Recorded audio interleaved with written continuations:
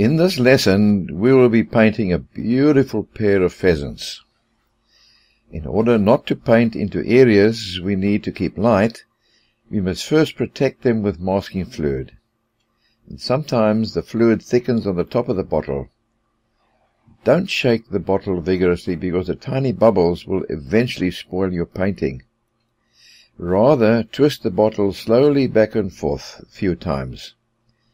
Now take your time and carefully block in the relevant areas. For the foreground grasses, use a number 2 rigger brush and flick them in in a random fashion and in an upward direction. In order to separate the pheasants from the background, we need to keep it blurred and without any detail at all.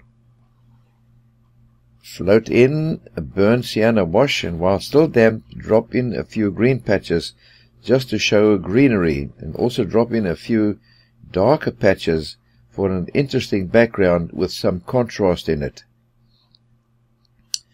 Now, as we come closer to the birds, some detail, though still a bit blurry, will begin to show in the olive green grass. See how the masked grasses are beginning to appear through the color. By darkening the lower area, it forces the viewer's eye up towards the birds. The dark shadows ground the birds. Course's head is going to attract the most attention. We will take a bit more care in painting it. Now use a small round brush with a nice good flexible point and block in all the colors first before blending together. Use ultramarine blue and viridian for the neck feathers and be careful to keep the colors nice and clean and bright. I like to block in the darker colors first, as this tends to add to the illusion of form. And I then block in the colors down the tonal range until I get to the lightest color. And see how the masking fluid shows up in the darker colors. Once the major colors have been placed, it is much easier to start adding the details because you're seeing the picture as a whole instead of when you paint it in small chunks. If you find that the paint is too dark at places, don't panic. A light touch with a tissue will soften the color. When painting the finer details, keep referring back and forth to the reference photograph when adding the darker dots on the body that you don't need to count every single one. Just getting them to look similar is all that is needed. Remove the masking fluid off the body as well as in the grassy area. Now add in all the subtle shadings to complete the details and to give a 3D effect to the body. Already he has a regal stance, and we haven't even finished painting him yet. Okay, let's get on with the story.